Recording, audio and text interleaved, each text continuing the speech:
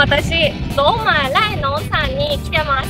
なんとここ120ヘクタールもあるところですごい広いです。宿泊の他にもいろんな施設があって楽しめます。あと、ウクレイナの空中ショーなどもあるらしいので、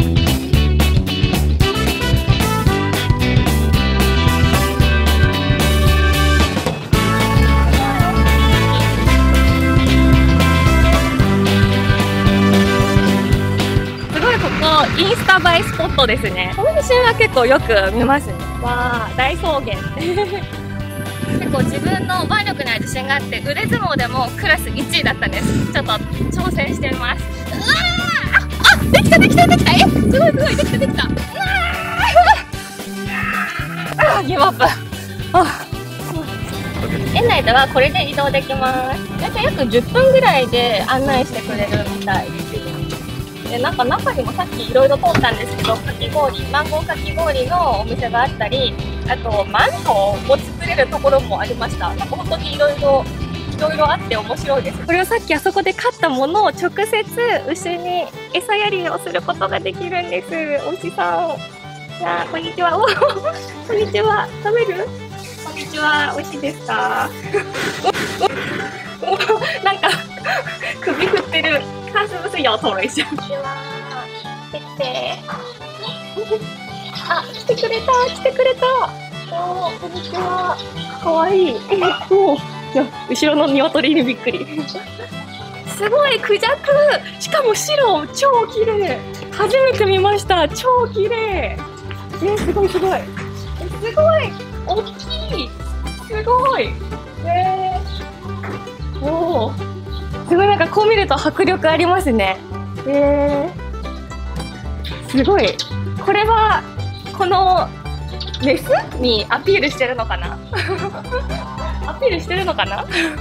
它是在求我吗これ逆にこう閉まったらどうなるんだろう。ねすごい。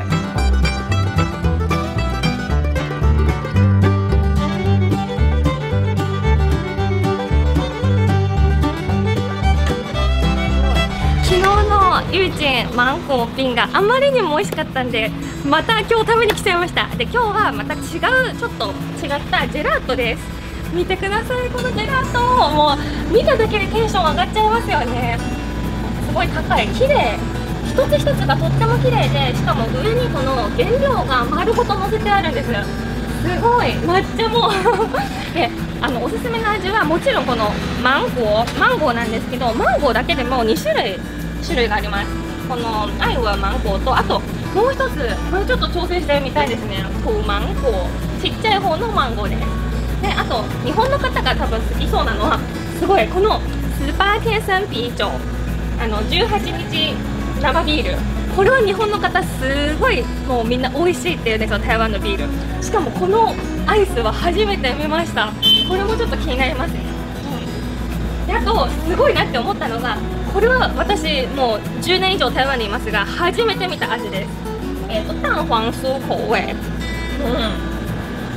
すごい。いやこれは本当にあのちょっとチャレンジしてみるべきかもしれないですね。いやーすごい。もう全部かわい。いこれもインスタ映えですね。しかもここのお店本当に有名でサンタオシャオニャオさんも来たことがあるらしいです美味しそう。しかも可愛い。3種類選びました。こっちがスーパー天啤酒。こっちが、えっ、ー、とトマンゴでこれがアイウマンゴえー、で早速ちょっと王道のアイウマンゴから食べてみましょうか。ほい。わー美味しそうだな。いただきます。うん。美味しい。本当にもう原料の旨味っていうじゃあ次はトマンゴ行ってみたいと思います。なんかトマンゴはアイゴマンゴーよりもちょっとさっぱりより爽やかな感じがしますね。ちょっとシャーベットっぽいかも。じゃあちょっとこの気になるスーパー天啤酒食べてみたいと思います。あすごいすごいすごいすごい。これめちゃくちゃ濃厚ですね。食感が結構なんかうんすごい。なんかビールの泡を食べてるみたいななんかすごい。ビールの味もしっかり効いてます。幸せ。こここはさっきのあのジェラートのお店から20分以内で着きます。この絵全てがこちらの住まいの方たちが自主的に描いてるものみたいでとてもすごい独特で面白いなんかインスタ映えスポットですね。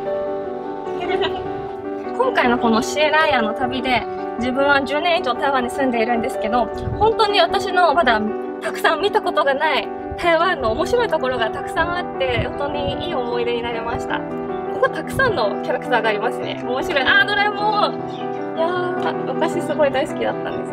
おーなんとこれはモーファンアマー、えー、日本語で言うと魔法使いのおばあちゃんっていうタイトルなんですけどこれはアニメの映画で台湾で賞を取ったことあるとても有名な映画です。で私も見たことがあってとても面白くて好きです。こちらがこの魔法使いのおばあちゃん。